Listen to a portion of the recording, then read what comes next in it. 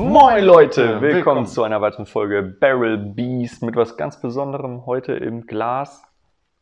Mordlatsch. Mordlatschi? Elf Jahre old. Ein Dreh kurz. Vintage. Das kann doch wohl nicht sein. Schlechter Part von mir. So muss das sein. So muss das sein. 48,2 Volumenprozent. Das gute Ding wurde von Signatory abgefüllt. Und zwar in einer besonderen Serie, ich glaube Vintage war es, Small Batch oder sowas. Und ähm, ist First Fill Oloroso plus Ex-Bourbon.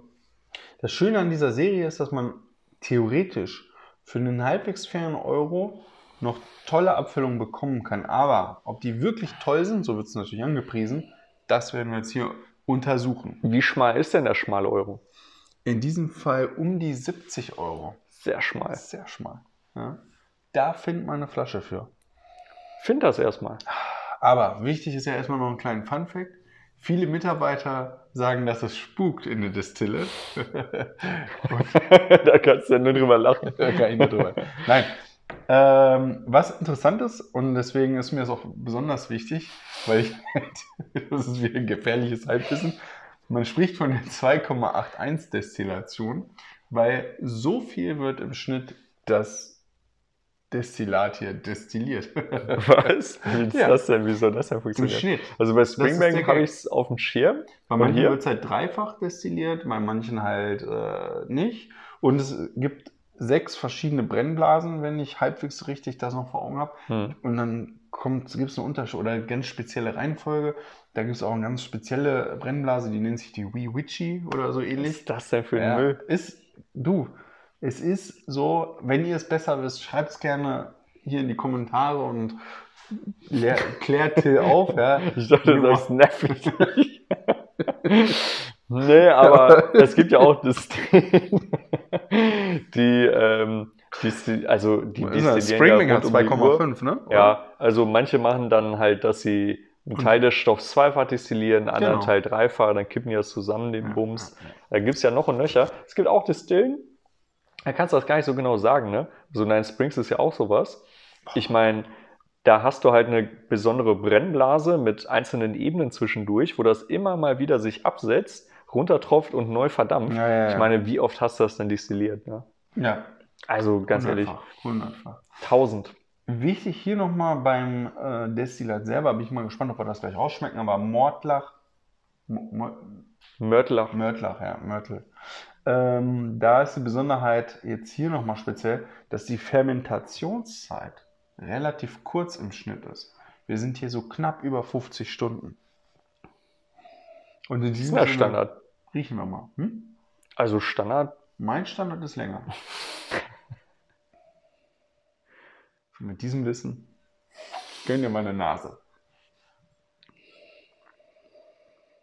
Das ist, weißt du was über die Fässer? Ja, die Zuschauer auch. Alle bis auf dich. nee, so elf Jahre. Äh, First für Ex Oloroso. Da kommt auch die angenehme, schöne Farbe. So, sag doch was. Die angenehme, schöne Farbe kommt da auch her. Ähm, First für Ex Oloroso und Ex Bourbon. Ah, okay. Ich habe mich schon gewundert, weil der ist relativ süßlich für so ein Oloroso. Und dann kommt das vom Bourbon fast. Das ist äh, für die Nase, du bist ja für den Schwächenpart zuständig, deswegen darf ich dir mal gut, kurz loben. Gut verheiratet das beides. Das gefällt mir. Ich finde auch, er hat einen schönen Geruch. Alkohol kommt ganz leicht durch, aber wirklich minimal. Ansonsten schöne, so eine schöne frische Brise, ne? Und so eine Süße, die dann reingeht in so eine Fruchtigkeit. Tolle Aromatik. Honig der dann irgendwie mit so einer heißen, warmen Kirschsoße getoppt wurde. Mhm. Ja, Kirschvanille. Es ist fast wie dieses rote Grütze mit Vanillesoße. Ja, das ist gut. Das ist gut. Geil. Das ist es.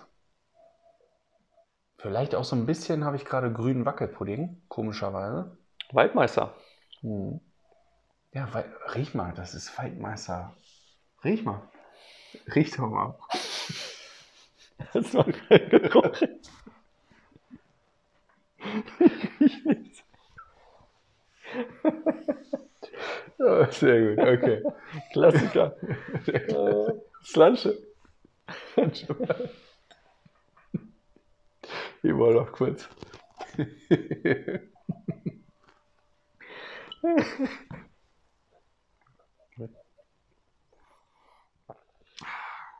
Gut.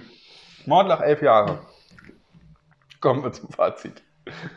Nein, also mh, mm, ich finde ihn relativ mild. Erstmal so im ersten Antritt. Und dann kommt. Tja, was kommt da? Honig. Schon. Mhm. Mit so einer gewissen Würze, aber Kräutrigkeit, nicht Würze, Kräutrigkeit. Mhm. Leicht vanillig, also schön, aber hat so ein bisschen was von so einer herberen Seite der Vanille. Schwierig. Also ähm, mich erinnert das am mhm. ehesten so an, ähm, es gibt so eine Tabakmarke, die raucht mein Schwiegervater. Und das ist so eine Zigarillo-Marke, die so ein bisschen mit Vanille versetzt ist, mhm. irgendwie habe ich das Gefühl. Da mhm. erinnert mich das dran. Mhm. Also so eine Vanille mit einer herben Aromatik dahinter. Schön kräuterig, leicht süßlich. Er hat auch hier wieder so eine leichte verbrannten Aromen, die vom Holzfass kommen, als wenn es angetoastet wäre. Aber ich finde ihn echt gut. Ich finde, also rund ist eigentlich das falsche Wort, ne? weil er, er springt jetzt nicht, aber er entwickelt sich schon äh, von A nach B, vom Bourbon zum Sherry halt. Mhm. Aber irgendwie konstant. Also es ist wirklich gut zu trinken. Wirklich, ja, Chapeau. Mhm. Muss ich auch sagen, das Schön ist ein tolles gemacht. Ding. So langsam entfaltet sich auch die Nase immer mehr. Ne? Also jetzt geht es so ein bisschen auch ich würde sagen, in so eine leicht säuerliche Richtung, vielleicht so ein bisschen apfelig. Nettes Teil. Er hat auf jeden Fall mehr Schärfe jetzt im Geschmack. Und der Abgang, würde ich auch sagen, nimmt das mit. Ja, diese leichten Pfefferaromen. Und ist auch hier wieder mittellang. Vielleicht sogar hin zu so leicht langanhaltend. Also der, da hat man was. Ähm, ich bin überrascht. Da hatten wir auch schon deutlich schlechtere Vertreter, was das angeht. Also der kriegt diese Mischung halt wirklich perfekt hin, ne? Zwischen Sherry und zwischen Bourbon. Richtig geil, muss mhm. ich sagen. Mhm. Hat auch so im Mundgefühl gleichzeitig ein bisschen leicht ölig vom Sherry, gleichzeitig aber ein bisschen flüssig, ein bisschen vanillig. Richtig schön süffig. Echt geil. Da kommt auch immer mehr raus.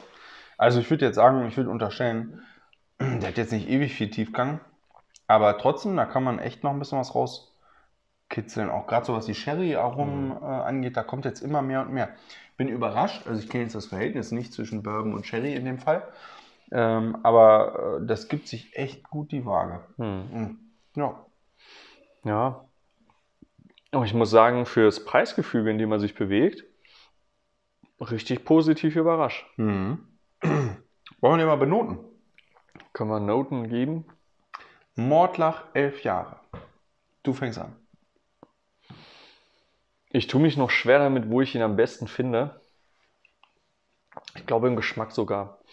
Also in der Nase, da gebe ich ihm 86 Punkte. Geschmack gehe ich mal hoch auf eine 88, spielt aber auch der Preis mit rein. Ne? Also ist jetzt nicht die Granate schlechthin, aber für den Preis wirklich gut.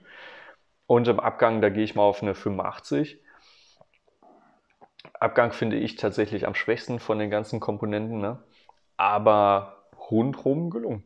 Ja, ich sehe es mühe anders. Äh, ich finde die Nase am besten und dann geht es bei mir so bergab, sage ich mal, aber auch auf einem hohen Niveau. Ähm, ich versuche meinen Preis jetzt gerade noch nicht einzubeziehen. Bin ich so bei 86, 85, 84. Und beim Preis mit drin? Würde ich ihm, glaube ich, einen Punkt mehr geben überall. 100. 100 Punkte, ja. nee, also insofern. Aufgerundet. Oh, ja, aber ganz leicht nur. Mhm. Ganz leicht. Ähm, wir hatten ja gesagt, um die 70 Euro ungefähr. Ja. 07, 11 Jahre, Mordlach, 2,81-fach destilliert, Vintage-Abfüllung von Signatory. Ich würde mich mal aus dem Fenster lehnen und sagen, Barrowbees nein. Ja. Da bringt er einfach ein bisschen noch zu wenig mit. Aber für mich, Kaufempfehlung, ja, kann man, 100%. kann man gut machen. Ja. Das ist ein, ein guter Griff. Also muss ich sagen, wurden wir auch am Anfang ein bisschen angeteasert, ne? Signatory. Hat hier abgeliefert bei der speziellen Abfüllung. Kann man auch immer mal noch Sachen, ein bisschen Noten entdecken. Ne? Also ganz nett. Mhm. Schönes Ding. Mhm. Ein leichter, fortgeschrittener Anfängerwhisky, würde ich sagen. Ein leichter, fortgeschrittener Anfängerwhisky für Profis. Die Ja, ich Im finde, der, Amateur- der tut es einem, der tut's einem wirklich nicht schwer, da Sachen zu, zu finden. Ne? Der verlangt einem jetzt nicht viel ab. Nee. Der ist echt bekömmlich. Ja. Der kostet auch nicht viel Geld. Ne? Also wenn man jetzt so gerade seine Glenfiddichs und so durch hat, ne? seinen Ja. Delmos-Standard Ja. und so weiter, easy, Fühler ausstrecken. Ja. Das hier ist so der nächste Schritt mal. Kann man gut machen. Tolles Ding. Schön. Gut, alles klärchen. Dann ähm, würde ich sagen, wir hoffen, es hat euch gefallen und wir sehen uns beim nächsten Video. Bis dahin, bleibt uns gewogen. Tschüss.